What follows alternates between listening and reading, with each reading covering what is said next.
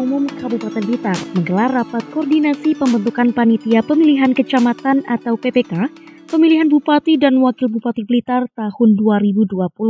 Dilanjutkan pembentukan PPS dan KPPS serta pengumuman pendaftaran PPK di ruang perdana pemerintah Kabupaten Blitar. Dasar Hukum Undang-Undang Dasar Nomor 7 Tahun 2017 dan PKPU Nomor 3 Tahun 2015 Perubahan Nomor 13 Tahun 2017 tentang tata kerja KPU dalam penyelenggaraan pemilihan bupati dan wakil bupati.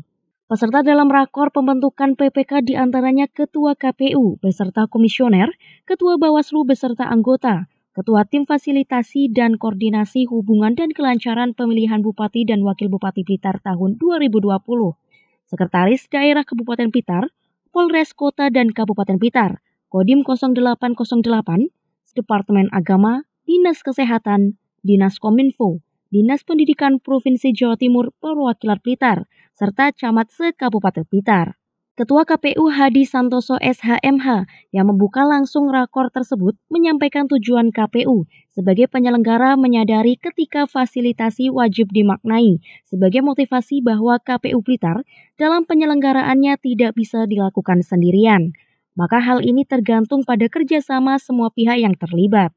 Terkait dengan tahapan, KPU telah menetapkan peraturan nomor 687 tentang tahapan dan program jadwal pemilihan bupati dan wakil bupati, serta jadwal PPK, PPS, dan KPPS mulai 15 Januari sampai bulan April 2020.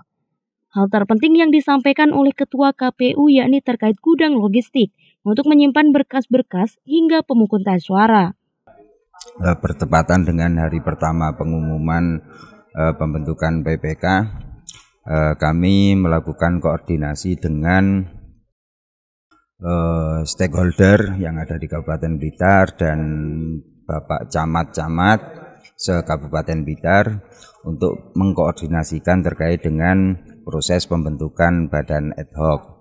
Tadi sudah kita sampaikan seluruhnya eh, termasuk terkait dengan eh, sekretariat dan yang dibutuhkan oleh KPU.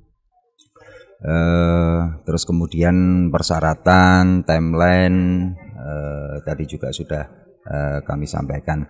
Harapannya dengan kegiatan ini nanti juga disampaikan ke masyarakat.